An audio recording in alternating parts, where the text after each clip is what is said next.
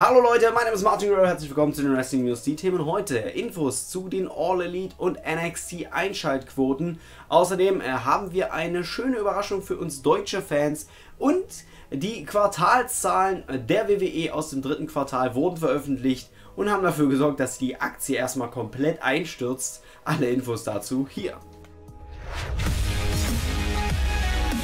Am 5. November startet die WWE offiziell mit WWE Backstage. Das haben sie zwar in den letzten 2-3 Wochen schon mal hier und da so ein bisschen gemacht, aber offiziell startet die Studio-Show am 5. auf Fox Sports One. Und äh, Renee Young hat jetzt in einer kleinen Videobotschaft über die erste Episode gesprochen. Zum Beispiel, dass es eine Videobotschaft von John Cena geben wird. Äh, Im Hintergrund liefen auch Booker T und Samoa Joe mit rum, der wohl auch, solange er verletzt ist, Teil des Casts sein wird.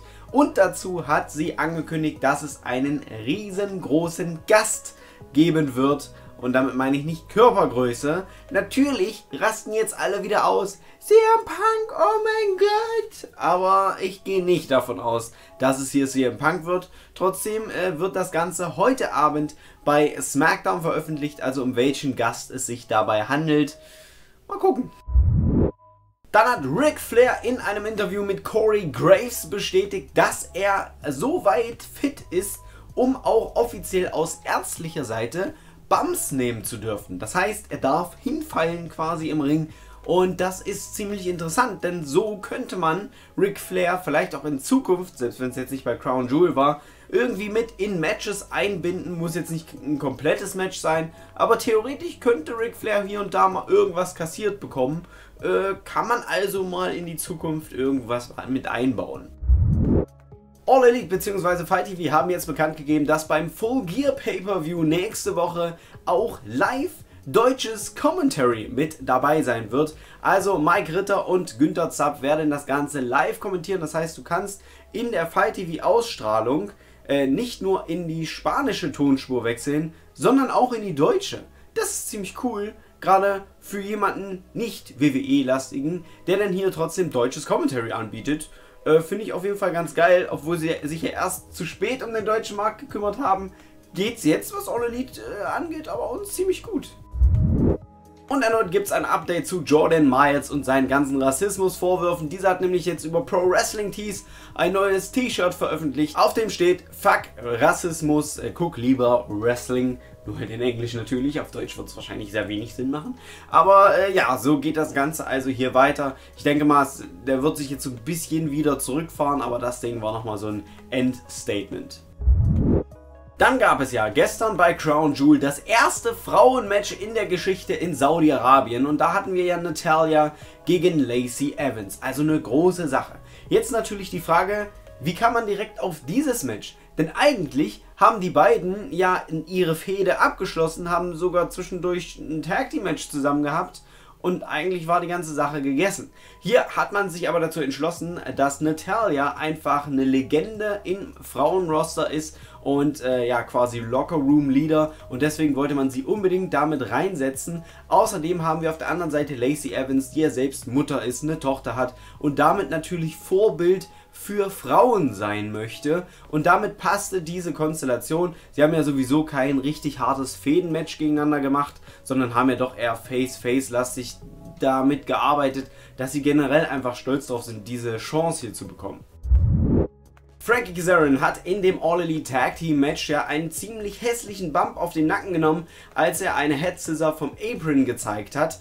Und äh, da gab es jetzt aber auch Entwarnung. Er hat sich auf jeden Fall nicht verletzt. Klar war das Ding ganz schön hart und er hatte auch nach dem Match damit ein bisschen zu kämpfen, aber er ist nicht verletzt. Er hat keine Gehirnerschütterung oder sonst irgendwas. Und äh, er ist Champion geworden, von daher alles gut. Dann hat die WWE jetzt angekündigt, für Survivor Series gibt es eine ziemlich große Änderung. Und zwar war es ja sonst immer so, dass man Raw gegen SmackDown gestellt hat. Aber jetzt haut man NXT mit dazu. Das heißt, es gibt Raw gegen SmackDown, gegen NXT Matches. Und das ist eine extrem krasse Sache. Denn damit ist auch offiziell, dass NXT der dritte Brand ist und nicht einfach der Nachwuchsbrand, den man halt mal so hat, wo man die Leute hoch oder halt runterschieben kann, sondern das Ding ist jetzt wirklich ein etablierter dritter Brand, neben Raw und SmackDown. Und das ist eine ziemlich krasse Sache eigentlich. Das Problem daran ist nur, dass äh, ja auch an dem Tag davor ähm, NXT Takeover ist. Das heißt, die Talente, die bei Survivor Series eingesetzt werden, töten sich einen Tag vorher ja auch schon. Also äh, für die NXT-Talente wird das auf jeden Fall ein hartes Wochenende.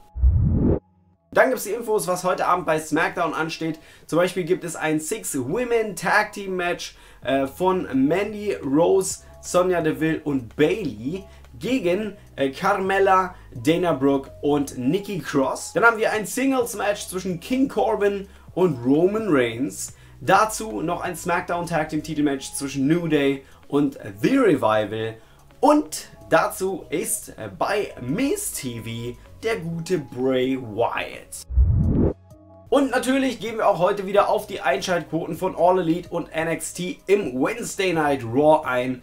Und auch diese Woche haben beide Shows wieder Zuschauer verloren. Das ist echt krass. Denn die All Elite Dynamite Episode hatte 759.000 Zuschauer.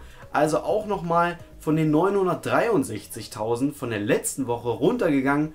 Obwohl es jetzt das Finale um die Tag Team Titel gab. Aber bei NXT sah es ähnlich aus. Wir sind auf 580.000 gefallen von den 600 98.000, die wir letzte Woche hatten. Damit als Fazit von der ersten NXT-Episode bis zu der jetzt auf dem USA Network sind die Zuschauerzahlen um 51% gefallen.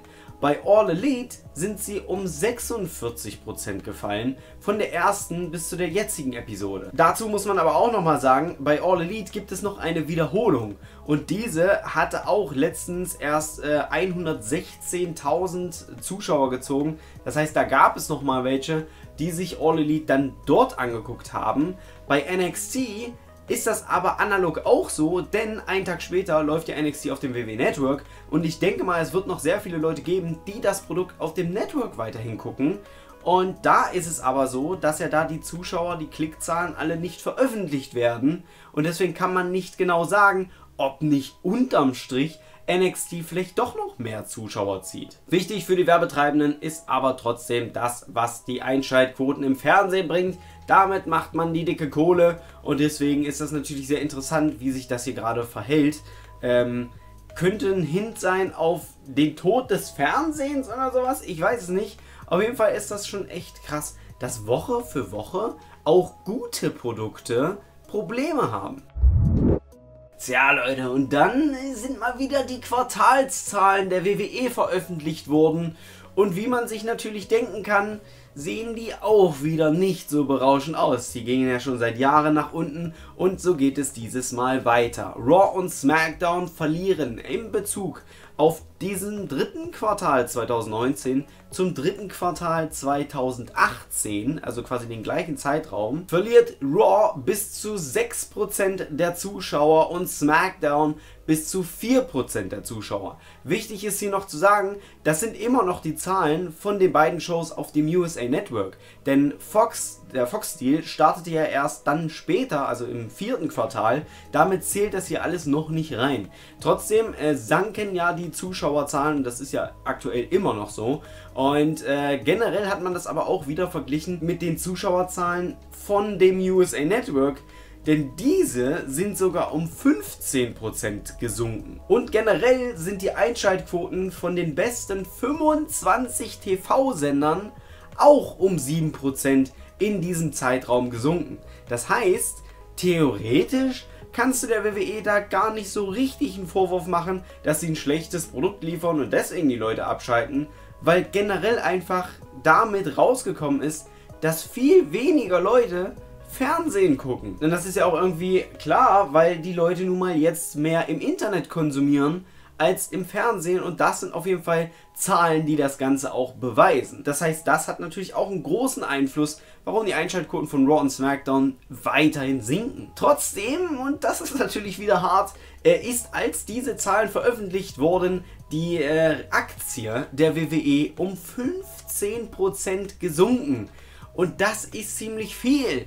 Und das war ja auch sonst nichts. Es war ja nicht eine kleine Krise oder so eine kleine Finanzkrise, die da irgendwie ähm, ja, jetzt in den letzten Tagen kam, sondern es betraf hier wirklich die WWE-Aktie aufgrund dieser Zahlen, äh, die hier veröffentlicht wurden. Also äh, da haben wieder einige Leute äh, sehr schnell dafür gesorgt, die WWE-Aktie abzustoßen, weshalb die natürlich dann runtergegangen ist. Preis und Nachfrage, man kennt das. Aber äh, ja, das ist äh, auf jeden Fall immer eine ziemlich krasse Sache, weil dann sind nämlich die Aktionäre nicht ganz so begeistert, äh, wenn wegen irgend solchen Sachen oder wegen schlechten Zahlen die Aktie oder der Aktienkurs sinkt, damit natürlich die ganzen Leute, die dort Aktien haben, an Wert verlieren und damit verlieren sie Geld und bei Geld hört der Spaß auf. Und dann könnte es natürlich dazu führen, dass vielleicht da jetzt auch mal langsam die ganzen Aktionäre der WWE mal auf die Finger hauen und sagen, ey, ihr müsst da mal langsam was ändern.